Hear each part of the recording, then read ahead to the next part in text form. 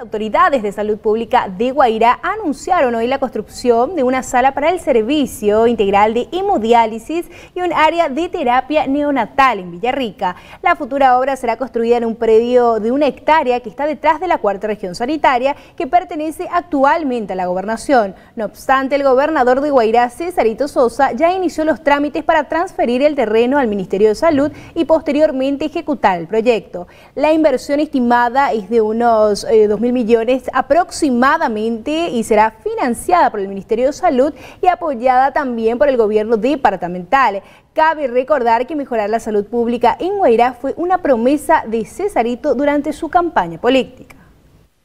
Este previo es de la gobernación, faltan algunos papeles para la actualización de este terreno y ya después ya pasa para el ministerio donde queremos implementar eh, lo que es la parte de diálisis para que se pueda hacer una construcción y la gobernación estaría invirtiendo más de 2 mil millones para la construcción de eso. Es un terreno que corresponde a la, la gobernación.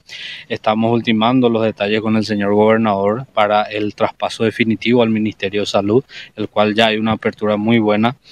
Y bueno, a raíz de esto, ¿verdad? proyectar lo que serían las construcciones que estamos pensando nosotros realizar ¿verdad? en un futuro cercano, a mediano plazo y a largo plazo también, ¿verdad? Lo más pronto y lo más necesario que sabemos que es importante es la, la construcción ¿verdad? De, de, un servicio para poder realmente agrandar un servicio que hoy por hoy está en el hospital regional, que es el servicio de diálisis, que sabemos bien que tenemos 11 sillas por los cuales están, se están dializando varios pacientes y tenemos una larga lista de espera. ¿verdad? A raíz de la visita la otra vez de la señora ministra, la doctora María Teresa Barán, quien con mil gusto también dio la apertura y dijo que va a estar implementando varias, varios recursos humanos también al departamento del Guairá y más otra vez para estos servicios eh, se llegó a un acuerdo justamente de poder ampliar el servicio de diálisis y poder contar con más cantidad de sillas y recursos humanos para poder dar respuesta a varios compueblanos que están realmente eh, dializándose en la capital que tienen que ir cada día de por medio. Sabemos bien que es un servicio que se tiene que realizar cada día de por medio y muchas veces son de escasos recursos y realmente se están agotando el factor económico y estamos paliando nosotros de alguna que otra manera. Entonces, eh, amén a eso, ¿verdad? Estamos realmente contentos de poder hoy tener la presencia del arquitecta, el cual ya va a estar diseñando eh, el, el cómo cómo va a estar proyectado ¿verdad? El, el nuevo servicio de diálisis con la cantidad de, de, sillas que nosotros pretendemos y ver si podemos aumentar eso más ¿verdad? en el transcurso de las negociaciones. Nos enfocamos acá en el área de lo, donde tenemos el terreno adjunto al hospital de una hectárea. Hemodiálisis se basa en un servicio donde puede estar trabajando totalmente independiente al hospital. Entonces, vamos a tener algunas especificaciones para el área a construir y para ejecutar dicho proyecto.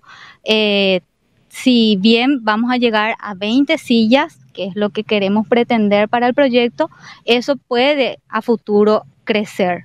Va a ser un proyecto que va a poder crecer, que va a poder ampliarse, porque el terreno es bastante amplio y también se pueden ir anexando luego más adelante otros servicios que pueden trabajar independiente al hospital.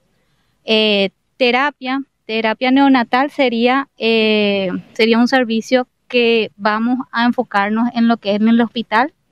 Eh, va a haber una ampliación porque es un servicio que debe estar cerca de lo que es quirófano, parto, por, por la atención inmediata, no, no puede estar distante, la atención debe ser inmediata. Bien sabemos que terapia es un área súper delicada.